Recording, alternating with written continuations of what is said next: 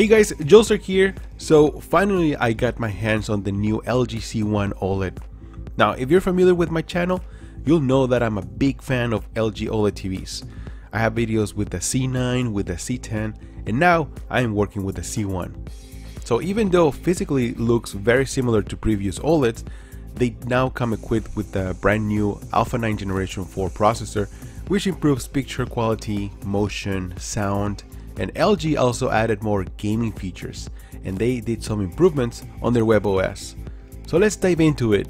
Let's do this! Alright, so I purchased the 48 inch version, but it is also available in 55, 65, 77, and even 83 inches. They all have the same features and quality, so you can expect the same performance with any size. Now the ports are located on the right hand side and it includes 4 HDMI 2.1 ports. Now that means that you can connect both of your next gen consoles, an audio receiver, and even a PC in all at the same time. Now as far as I know, OLEDs are the only TVs that offers HDMI 2.1 on all four ports, so that's a big plus for me. Alright, so if you're not familiar with OLEDs, they are self-lit diodes that can be turned on or off individually. Now that means that the TV doesn't need any backlight or any local dimming, so there are no blooming issues to worry about. Now as a result, you get this super thin screen with the highest contrast on any TV and a beautiful colorful picture. Now the C1 also supports Dolby Vision, Dolby Atmos, HDR10, HLG, so you get to enjoy the best HDR formats and the audio available. Now, I'm a big gamer and honestly, this is the best gaming TV available right now. Not only the picture looks fantastic, but there are a ton of new features available for gaming, including 4K 120Hz, even 1440p 120Hz. So if you have the Xbox or a PC connected, you can use those formats. There are a few games that support 4K 120Hz, and one of my favorite ones is Call of Duty Cold War. Now the game runs fantastic with that performance mode, the gameplay is very smooth, and OLEDs also have the fastest response time. Now response time refers to how fast pixels change from one color to another. Now the faster the better, while the slower response time can result in ghosting or blurry image. Now OLEDs have a 1 millisecond response time, so it is fast and the picture looks great. There is also HDMI VRR, FreeSync Premium and G-Sync available. Now variable refresh rate eliminates screen tearing and stuttering for a smoother gameplay experience. So this works great with the Xbox consoles and also if you decide to connect your PC.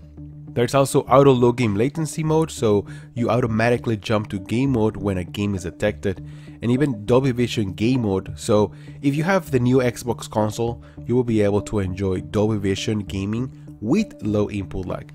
Now, I mean, I think LG is the only brand that has Dolby Vision game mode.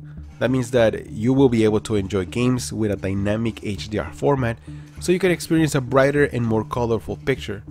But not only that, Dolby Vision automatically maps to your display as you play, defining peak brightness on a frame by frame or scene basis. So you can say goodbye to all those adjustment sliders or HGIG since there is no standardization for HDR. Now Dolby Vision acts as a middleman helping you ensure that you're getting the best image and accurate colors and brightness. Now on top of that, there is also 4K 120Hz with Dolby Vision support mode available.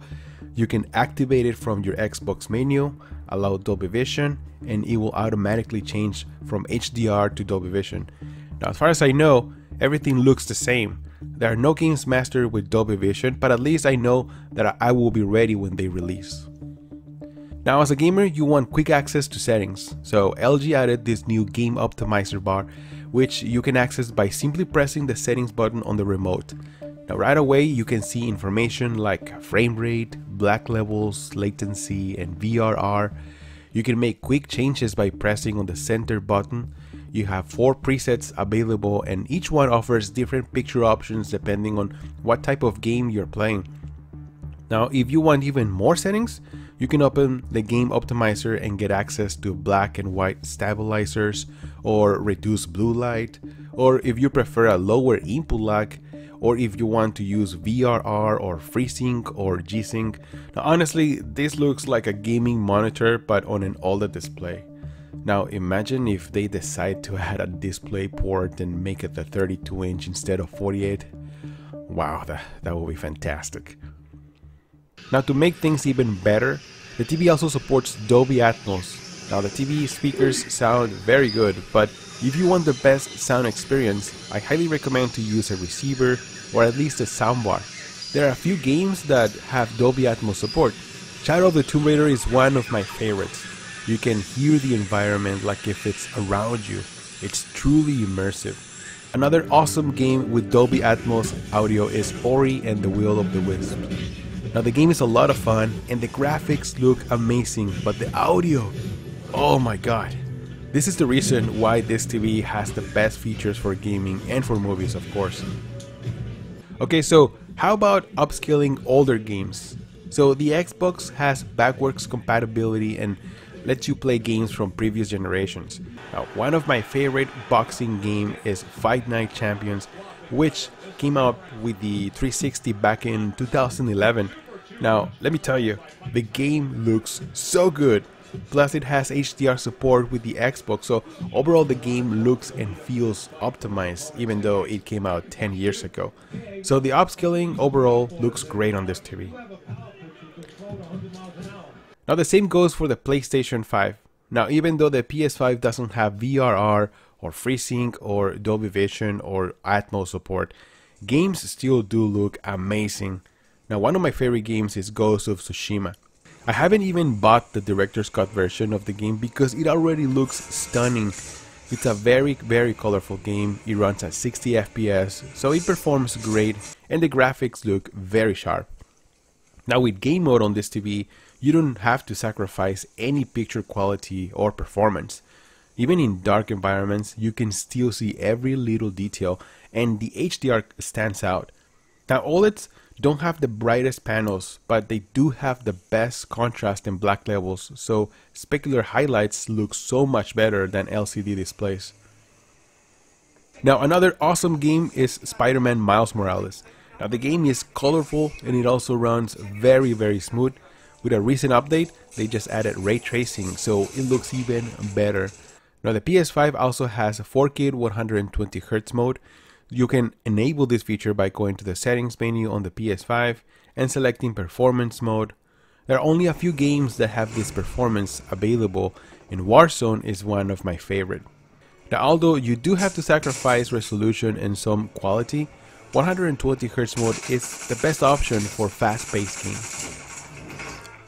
Now the TV does have a glossy finish, so you will see some reflections if there are direct lights in the environment or maybe a big window. Now while semi-gloss coating effectively reduces reflections, it also makes the image quality slightly more dull or hazy. So I personally prefer the glossy finish because it just has deeper black levels and a more vibrant picture. Now another big advantage of OLED TVs are the viewing angles. Now you keep the same high quality picture at any angle. Colors look rich and they don't distort or degrade. Now I don't normally watch TV or play at any angle, but it is a good thing to know that you're getting the best picture from anywhere you stand. Now even though this video is more focused on gaming, this TV is also great for movies and streaming. Now the new WebOS feels fresh, there is more interaction and direct access to apps quicker, but I also noticed there is more marketing material. So regardless, I like the functionality and easy access. All your favorite apps are available here, including Netflix, Prime Video, Disney Plus, HBO Max, and they offer HDR and Dolby Vision and Atmos support. Now with that being said, I know there's some people out there that are still concerned about permanent screen burn on OLEDs. Now all I can tell you is that they have improved a lot. There are features like pixel cleaning that adjust each pixel to prevent permanent damage when watching the same channel or content for a long time.